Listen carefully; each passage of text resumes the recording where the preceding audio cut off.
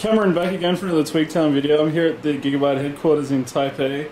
Um, now, we saw some of these at CES, and we're seeing the latest version of these boards now, and these are the third generation, fourth generation um, supported Intel Z77 boards. That's what Gigabyte told us, that they're the second and third generation um, supported boards. We know, that we were told to say that, but we know they're actually uh, Ivy Bridge boards. So what we're going to do is we're going to start off with the G1 Sniper 3. Uh, you have a quick look at the specifications here. Now if we go to the board, which is what you're going to be most interested in, um, no big gun heatsink here. It's been it's uh, it's a smaller sort of design here with uh, just a small little uh, skull and a, a, knife held in his mouth. You can see here. Uh, this has support for uh, three-way SLI, as you can see here, and it's got uh, four-way uh, crossfire support. Really large uh, heat sinks, as you can see here. Sort of oversized, bigger, I, I believe, than the previous model. Um, you have creative um, Core 3D sound support. This is this setup here. It's all shielded um, to improve the sound quality and uh, uh, to minimize uh, interference um, M-SATA slot here, you can see right there.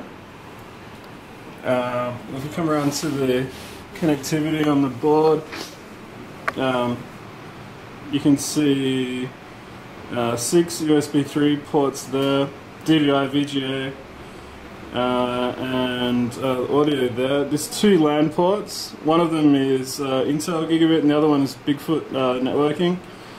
Um, this board also supports uh, Lucid technology. Um, there's some pretty interesting stuff going on there, which is able to um, Lucid with the Virtu um, MVP. It's able to really improve performance, graphics performance, which we're going to look at a little bit in the future. Now, if we come over, this is the this is the high-end board. There's no overclocking board at the moment, so at the moment this one has got all the overclocking uh, features packed onto it. The G1 Sniper 3. Move over to the left, we have the UD5, Z77 UD5. Quick look at the features there, and we'll show you the board. It's um, kind of similar, it's got some similar features to the G1 Sniper 3, um, but instead of um, 3 and 4 way SLI and uh, crossfire support, it just has two way SLI and two way crossfire support, as you can see here. Again, a fairly large heatsink um, design. Actually, it looks almost the same as the G1 Sniper 3. It's just missing a cooling assembly here, um, which which is here. Though this is the PLX bridge, which provides extra uh, PCI Express lanes, and the UD, uh, UD5 does not have it. Um, so let's look at the UD5H. I'll just show you the connectors quickly.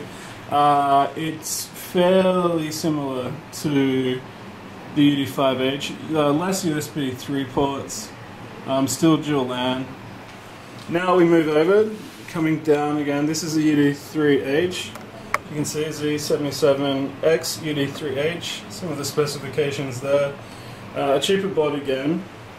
Uh, similar to the UD5H, it just, you know, as you go down, it drops some features. Um, you can still see micro um, SATA connector here.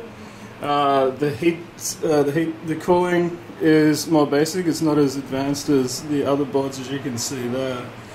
Um, and then I'll show you the connectors again.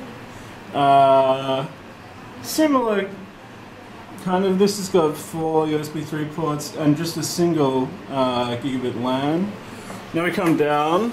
Uh, now this is the first um, Sniper micro ATX board, and it's the G1 Sniper M3. Again, it's based on the Z77 chipset. You can see some of the features there. Um, and there's there has been Gigabyte has had quite a bit of demand for a micro ATX board. Um, so you could build put this board here into a system like this one over here, as you can see. That's a Thermaltake case. So for smaller systems, maybe someone will carry that around to a LAN um, you'll be able to uh, squeeze in a micro ATX board. Uh, it is micro ATX, so it is um, it is small. You still get two-way SLI and two-way um, Crossfire support, and it still does have the looking features. Um, I know for a fact Shane, our motherboard reviewer, is excited to test this. Uh, he does like micro ATX boards, and he's happy to see a, a you know high-end board with a lot of features. You know, you've got the Core 3D uh, sound support, I believe, in this in this board. Um, now, if I show you the I/O connectors again, here you can see um, VGA DVI, uh, two two USB 3 ports. Um, basic sort of cooling setup, but it look, does look really good. And uh, I'm pretty sure this is going to be a popular board um, for people looking to build smaller systems. So this has been a look at four of the Gigabyte Z77 boards that will be coming onto the market fairly soon. Not not quite yet, but they're not they're not too far away either. Um, so I hope you've enjoyed that, and come back again soon for more video content from Tweaktown.